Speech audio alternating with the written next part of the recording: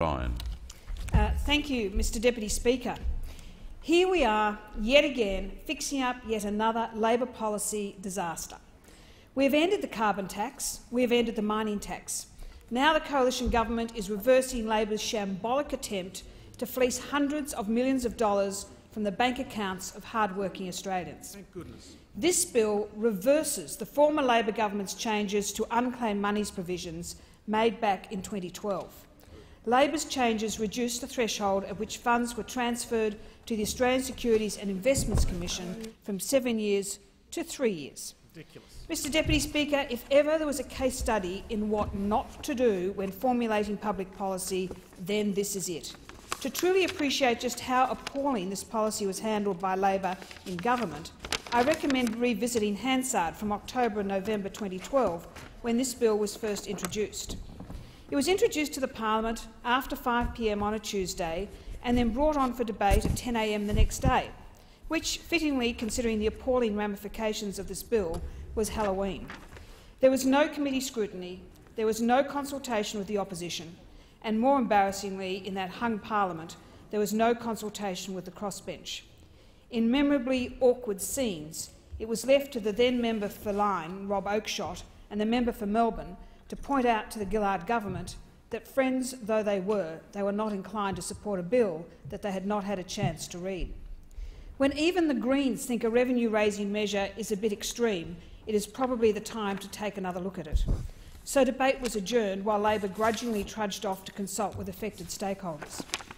Mr Deputy Speaker, you will not be surprised to learn that industry stakeholders were not happy with being given no notice and very little time to react to the proposed changes.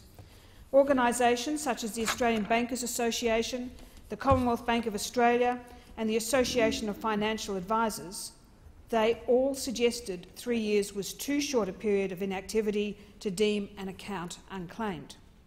Of course, Labor ignored these objections and pushed on with the bill. But strangely, when the bill came back on for debate a few weeks later, not a single Labor backbencher spoke in support of the bill. Shows something. What were they afraid of? If this was such good policy as suggested by the member for Oxley in introducing the bill, then did they, why did they stay silent? Mr Deputy Speaker, we here in the Coalition tried our best to warn Labor about this bill. Speaker after speaker urged Labor to reconsider. In my own speech back then, I made mention of the unintended consequences of this bill, that Labor would be inadvertently taking the accounts of people who have been saving money for travel, for university, who have been putting money away for a rainy day. I urge Labor to withdraw the bill in order to facilitate further discussion and consultation. Order. The debate is interrupted in accordance with Standing Order number 43 and the honourable member have leave to consider her, con, continue her remarks when the debate is resumed at a later hour. Thank you, Mr Deputy Speaker. Uh, in continuation, as I was saying, when Labor introduced this bill, I commented then that they needed to be aware of the unintended consequences, that taking accounts of people who've been saving money for travel, for university, would lead to problems. I urge Labor to withdraw the bill in order to facilitate further cons consultation. In the end, the chorus of opposition from the coalition and from stakeholders forced Labor to make seven amendments to their own bill. But the rest is history. The bill passed, and here we are, three years later, trying to clean up their mess. Labor's undue haste and shoddy legislation belied the true purpose of this change. For all their lofty rhetoric, it was always about a desperate cash grab to boost their flagging budget bottom line. In the financial year 2011-2012, $70 million in unclaimed funds were transferred to ASIC. Under Labor's changes in 2012-13, this figure ballooned to $550 million, an almost eightfold increase in a single year. This also came at a human cost. As a minister detailed in his remarks, for many Australians, funds wrongly claimed by government meant cancelled holidays and delays in purchasing new goods. It meant people who thought they had money saved away were placed in needless financial difficulty.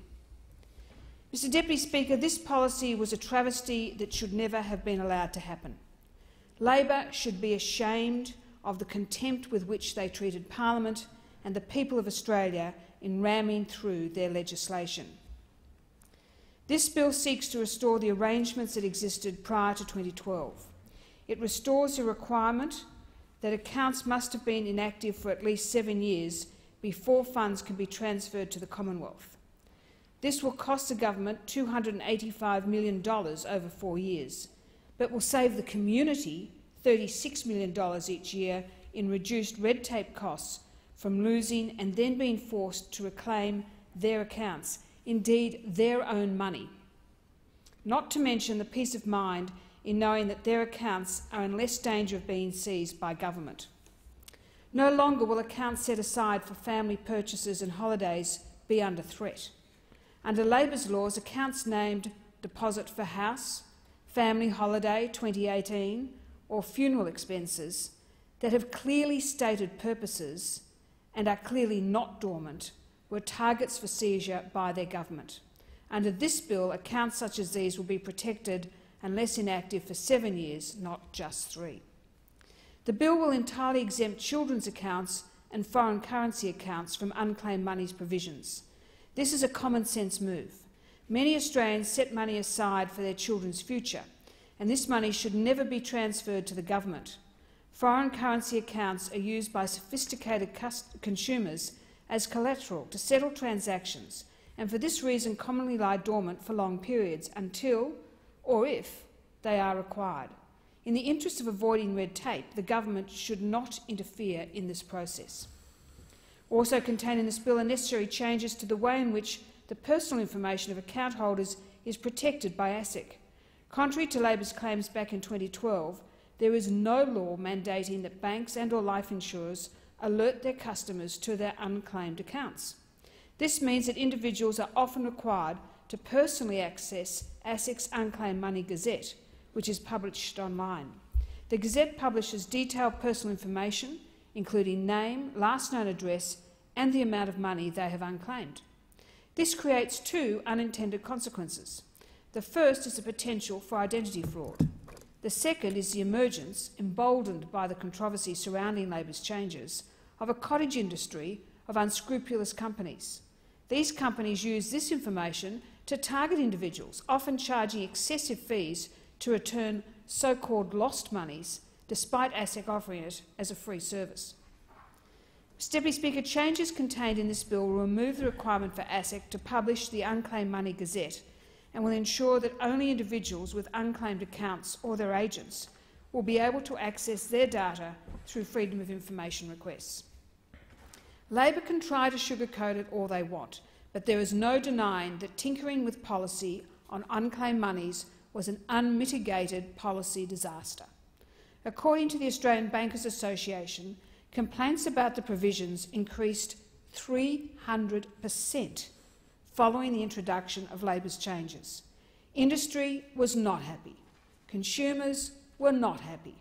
And that is why the coalition government is more than pleased to reverse this policy. It is all well and good for a government to seek out savings measures, but stealing money from the bank accounts of average Australians is not the way to do it. It is this sort of cynical, desperate policy making that got Labor into trouble and is now the duty of the coalition government to restore fairness to the financial affairs of Australians. I commend the bill to the House. I thank the member.